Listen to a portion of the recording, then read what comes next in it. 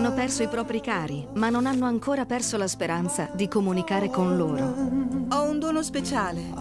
Sono in contatto con l'aldilà. Preparatevi a conoscere Teresa Caputo e le sue storie di incontri e riavvicinamenti ultraterreni.